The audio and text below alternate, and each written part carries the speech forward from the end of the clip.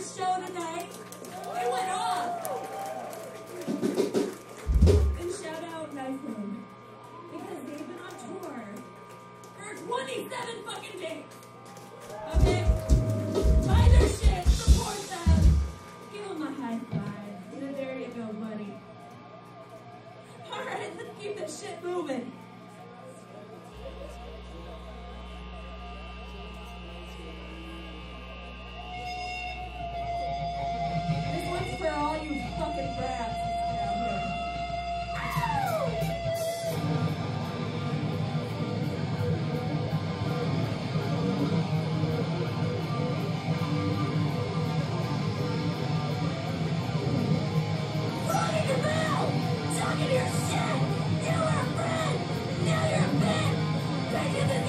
What is the mission?